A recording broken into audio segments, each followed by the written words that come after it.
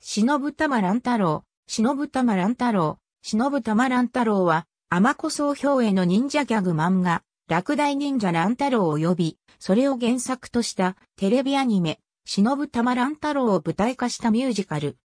2010年1月に第1弾公演が行われ、好評を受け同年7月に一部キャストと脚本、演出に変更を加えた再演。2011年1月には新作ストーリーでの第2弾公演が行われた。その後も2021年現在までに第11弾まで公演されている。役者が顔を出して演じる本格的なアクションミュージカルで殺人シーンを見どころの一つとしている。アクション指導はアクション俳優やスーツアクター、スタントマンの養成で知られるジャパンアクションエンタープライズが行っており、第1弾再演からは、ジャイ所属俳優を中心に落下スタントやロープを使ったキャットウォークからの効果を行ったりと、よりダイナミックなアクションが見られるようになった。原作、アニメとは異なり忍術学園の6年生を中心に据えたオリジナルストーリーで主役級のキャストには、いわゆるイケメン若手俳優が揃えられている。第2弾以降の脚本は、テレビアニメ版への参加経験がある脚本家が担当しており、5年生の八左衛門、平助の得意武器が公式キャラクターブック、忍玉の友店の牧の発売前である第2弾の時点で登場していたりと、一部設定が書籍等での公式発表よりも前に取り入れられている場合がある。また、ミュージカル版オリジナルで6年生にはイメージカラーが設定され、劇中で使用する武器の装飾などに取り入れられている。配色は文次郎が赤、戦蔵が紫、小平太が木、長寿が銀、留三郎が青、遺作が白。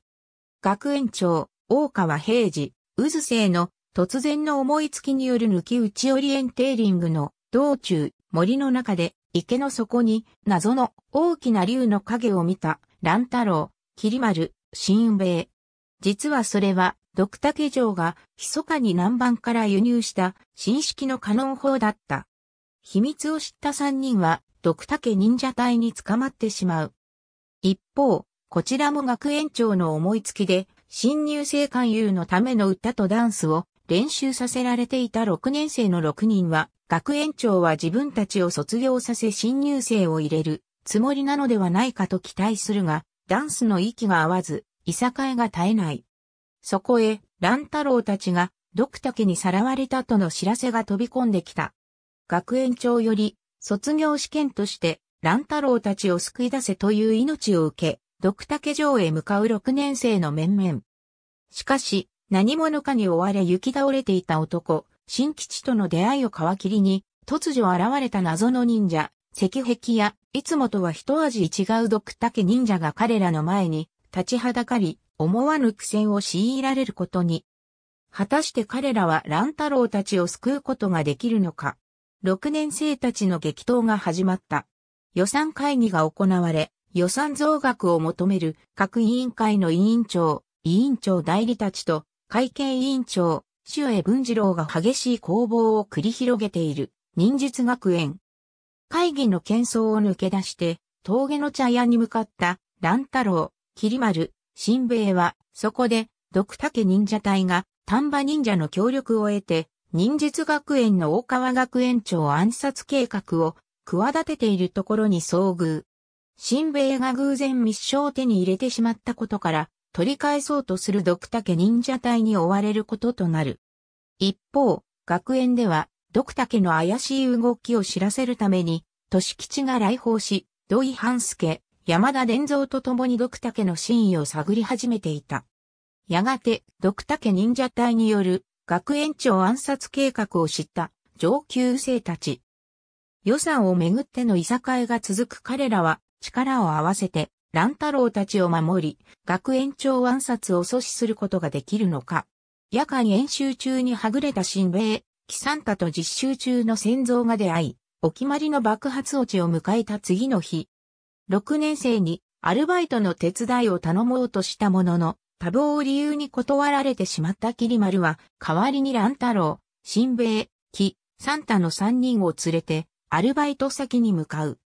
しかし、そこは、ドクタケが山賊を使って通行人から金を巻き上げようと、密かに建設中だった山賊砦であり、乱太郎たちは、ドクタケ忍者隊に捕らえられてしまう。学園を訪れた、都市吉の報告でそれを知った、土井半助、山田伝蔵は、自分たちが助けに向かうので6年生は、動かないようにと命じる。しかし、6年生との実力差に対する悩みからこうを焦った5年生の八左衛門が単身、山賊砦へ向かってしまい、同じく5年生の平助からそれを知らされた6年生は、言いつけを破って砦へ向かうことを決める。しかし、乱太郎たちが捕らえられている砦には、山賊一号を名乗る剣の達人が待ち受けていた。ある日、6年生たちは4年生の3人を連れて、ドクタケ忍者隊との戦いに挑み、彼らの暗躍を阻止することに成功する。しかし、解消によって生まれた敵への侮りや先輩への遠慮を抱えた4年生と6年生の間には、わずかな溝が生まれていた。そんな中、夜間訓練中だった文次郎、仙蔵、小平太は、ドクタケ忍者隊が、密かに手に入れた、ひないらずの新式銃、シリン銃による狙撃を受けてしまう。残りの6年生や4年生たちが突如行方不明となった3人の安否を心配する中、ドクタケ忍者隊の暗躍により、学園に危機が迫っていた。ある日、6年生との合同訓練中に6年生の勢いについていけなくなり休憩していた4年生の3人は、木八郎が掘った残壕に落ちた身なりの良い男性と出会う。男性を目的地の茶屋に送り届けた後、男性に気に入られた三人はその場に泊まるよう誘われる。滝夜叉丸と三木右衛門は6年生に実力を認めてもらえない悩みもあって誘いに乗るが、実は彼こそ、黄昏時城の城主である黄昏人兵衛であり、忍術学園壊滅を目論む独竹忍者隊に手を貸し暗躍している真っ最中であった。一方、ジンベエの誘いを断った木八郎と合流した6年生は、戻らない滝夜叉丸たちの安否を気遣い、一刻も早い帰還を願っていた。しかし、忍び組と雑渡り婚ナモンの強さやジンベエの帰郷ながらも、冷徹さや威厳を兼ね備えた人柄に触れ、黄昏時忍者隊への勧誘を受けた滝夜叉丸たちの心は、日々の先輩への不満や黄昏時上司と行動を共にしている後ろめたさ、学園で学び続けることへの迷いなど、様々な感情に苛まれ混乱し始めていた。ドクタケ忍者隊に10年もの長い間修行に出ていた一人の男が戻ってきた。一方、黄昏時上忍び組頭である雑渡り婚な門は、主君である黄昏人兵衛に忍術学園の取り込みを命じられる。乱太郎たちは学園長から半ば強引に任された卒業アルバム編集委員の仕事に不思議蔵を巻き込むが、不思議蔵は資料として渡された過去の卒業アルバムに不思議な文章を発見する。そして、ドクタケ忍者隊に戻ってきた男、雪木が得得した得意な能力が忍術学園に対して牙を向いた。遺作と留三郎の目の前に広がった、それは悪夢のような光景だった。6年生の4人が忍術学園を裏切り、ドクタケ勢と黄昏時勢に組みして先生を討ち取る。偽物と入れ替わる先生たち。そして彼らは下級生たちにも歯を向けた。忍術学園を救うべく、完全と立ち上がった遺作と留三郎は、裏切り者の同級生と偽の先生たちに戦いを挑む。果たして二人は、ドクタケと黄昏時の魔の手から忍術学園を取り戻すことができるのか。それは、乱太郎、桐丸、新兵の三人が泳げない水軍統領、兵庫第三共栄丸と出会い、忍術学園が本格的に兵庫水軍と関わりを持つ少し前のこと。海の近くでは妖怪、濡れ女子の噂が立ち、6年生はその背後に、ドクタケ城の暗躍があるのではと危惧していた。一方、兵庫水軍の面々は、濡れ女子と、おぼしき不気味な人影に遭遇するが、兵庫第三共栄丸はその人影に立ち向かおうと、鶴も恐怖に耐えきれず真っ先に逃げ出してしまい、泳げず船酔いし胆力もない己の不甲斐なさを恥じり、兵庫水軍から出奔してしまう。わかめ収穫のアルバイトで海に向かった乱太郎、桐丸、新兵衛と棟梁不在の兵庫水軍が出会ったその頃、独竹忍者隊では水軍創設準備の激務に疲れ果てた一部の忍者が脱走して抜け、忍となり、出奔中の兵庫第三共栄丸と出会う。独竹忍者隊の企みを阻止しようとする忍術学園、職業柄、忍者を嫌い棟梁不在の現状を乗り切ろうと、警戒する兵庫水軍、抜け忍ぶ発生による人手不足解消のために、兵庫水軍を取り込もうと企む独竹忍者隊、それぞれの思惑のもと、兵庫水軍のエピソードゼロとなる三つどもへの戦いが幕を開けた。突然出現した独竹水軍のアタケ船が、兵庫水軍若手の乗った小早船を沈める。その一報を受けた学園長は何かの存在を感じ、5年生に重要な忍ぶ務を命ずる。初、忍ぶ務に喜び勇んで忍術学園を出発した5年生であったが、忍ぶ務を果たせず、6年生、兵庫水軍衆や1年生からも力不足だと、侮られる。頼りない5年生、と上級生から思われていることを感じていたが、一点、5年生は自分たちのやり方で、忍ぶ務をやり遂げる。満をもたして、独竹水軍アタケ戦の討伐へ。独竹水軍アタケ戦には、忍術学園勢と兵庫水軍衆を危機に陥れる、驚くべき罠が。忍術学園勢と兵庫水軍衆、大ピンチ。兵庫水軍の総大将、兵庫第三共栄丸の特命を受け、水府のマギリとモウモンが忍術学園にやってきた。だがなんと、その二人の目の前で、忍術学園が、独竹忍者隊の手によって陥落してしまう。そこにはなぜか独竹に手を貸す独笹子忍者の姿が、天下を目指す冷酷非道な独竹城城主、木の小次郎筑港まで堂々乗り込んできて、今や忍術学園は、独竹学園と化す。姿が見えない一年生、忍術学園奪還を託された5年生と6年生2人はどう戦うのか。マギリとモウモンも水軍戦法で立ち向かう。だがそこに、忍ぶ三史上最強の毒笹子の凄腕忍者が立ちはだかる。忍ぶ玉たちは忍術学園を取り戻すことができるのか。初めて、ドクタケが勝利するのか手に汗握る攻防に、こう、ご期待。学園長の突然の思いつきにより、忍術学園春の大運動会が開催されることになる。不在の生徒が多い中、学園に残っていた生徒は4つのチームに分かれて参加することに。そこへ、突如ドクタケ忍者隊が現れる。事務員の小松田さんのミスにより、ドクタケ城に運動会の招待状が送られていたのだった。運動会を楽しみにしていたと語る冷えた八方祭で、あったが、その狙いは、運動会の混乱に乗じて、学園長を暗殺し、忍術学園を乗っ取ることであった。各して、チームドクタケを含む5チームが、運動会の優勝を争うことになった。競技は、恒例の包帯巻き巻き競争で幕を開けた。会場には、二人組の甘酒売りが訪れ、参加者らに冷たい甘酒を振る舞った。そして、夕刻、学園長の発表した最後の競技に参加チームからどよめきが起こる。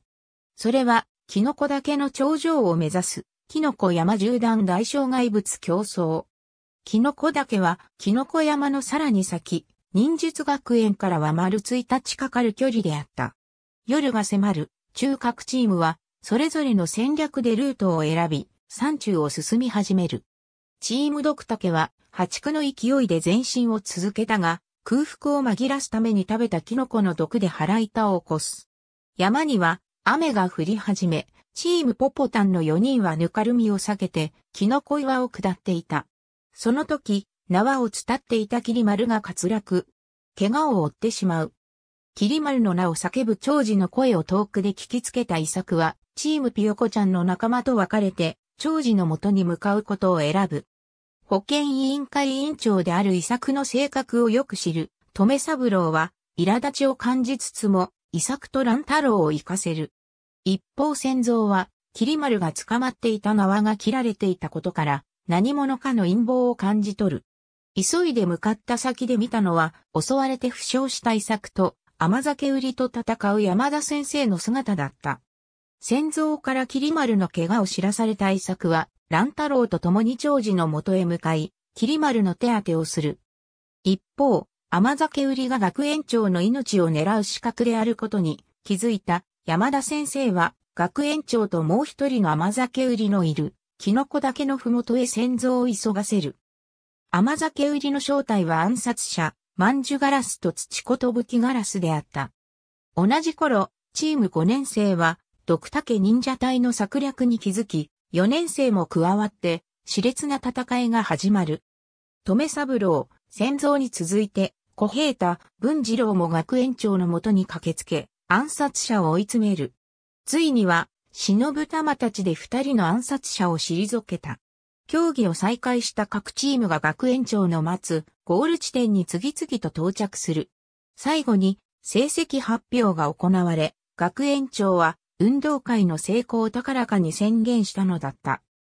泣く子も笑う。これぞ、忍玉恐怖の肝試し。学園長先生のお使いで金額寺のお嬢さんから本を借りてきた、乱太郎、桐丸、新兵衛と、図書委員の駐在家長次はその帰り道、通りかかったあれ屋敷で、恐ろしい幽霊を見てしまったからさ大変。6年生は、屋敷の調査。4年生は5年生の小浜勘右衛門を巻き込んで、肝試しを企画。1年生は、お宝探し。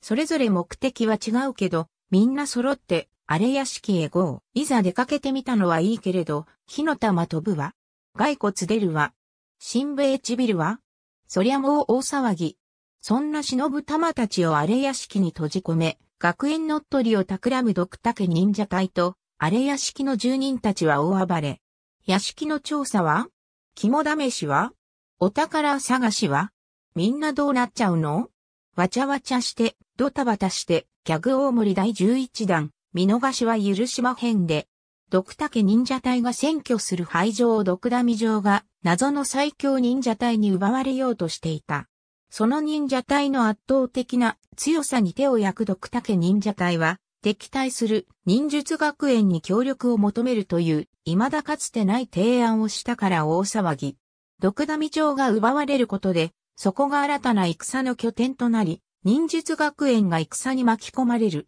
危険性を示唆する毒竹忍者隊。学園長、大川平次、渦星は学園の行く末を案じ、毒竹忍者隊との共闘を決める中、最強の忍者隊の正体を知る。そして、謎に満ちていた土井先生の壮絶な反省が、ついに明かされる。忍術学園を先導する六年行組の立花、先蔵年上文次郎は、仲間と共に、そして毒竹と共に、圧倒的な強さを持つ最強の忍者隊に立ち向かうのだった。ドクタケと仲良くなれるの？最強の忍者隊って最強なの？忍術学園大丈夫？前代未聞の共闘作戦。京都出るか吉と出るか。共闘と共闘するなんて共闘だ。逆てんこ盛り。ドタバタトッピング全部の背の12段。さあ召し上がれ。ありがとうございます。